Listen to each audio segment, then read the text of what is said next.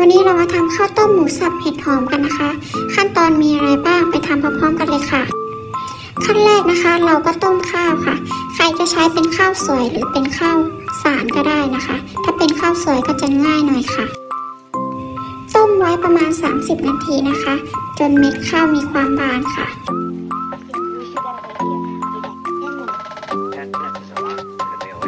ระหว่างที่รอข้าวสุกนะคะ เรามาทำกระเทียมเจียวรอกันเลยค่ะ โดยเราจะใช้เป็นกระเทียมสับหยาบนะคะ มาผัดให้มีความกรอบ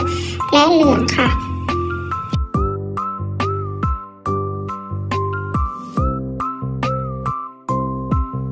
กระเทียมเจียวที่ได้นะคะ เราจะพักทิ้งไว้ให้เย็นค่ะ ขั้นตอนต่อไปนะคะ เป็นการผัดเครื่องข้าวต้มค่ะ โดยเราจะใช้น้ำมันกระเทียมเจียวส่วนหนึ่งมาผัดกับหมูสับค่ะ ผัดไปเรื่อยๆ จนหมูสับเริ่มสุกค่ะ หลังจากนั้นเติมแครอทหั่นเตาค่ะ ผัดให้เข้ากันอีกรอบค่ะ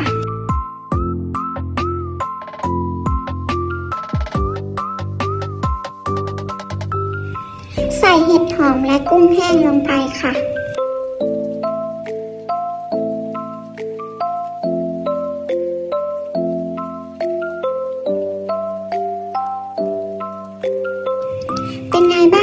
าตาเริ่มน่าทานแล้วใช่ไหมคะ เราจะปรุงรสด้วยซอสภูเขาทองค่ะ รสดีคลุกเคล้าให้เข้ากันค่ะ การปรุงรสชาติแล้วแต่ความชอบของแต่ละบุคคลเลยนะคะ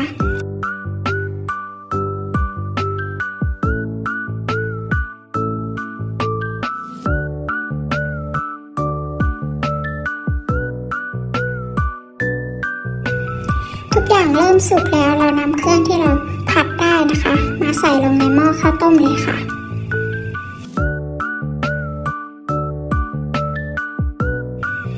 ทำการคนให้เข้ากันค่ะ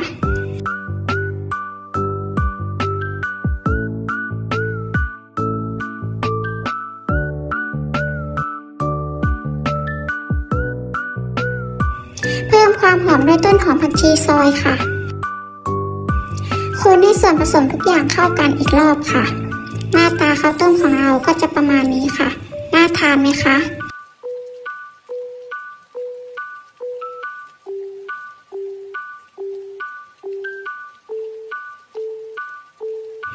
ข้าวต้มของเราพร้อมรับประทานแล้วค่ะ ทานคู่กับกระเทียมเจียว และพริกไทยป่นเล็กน้อยค่ะ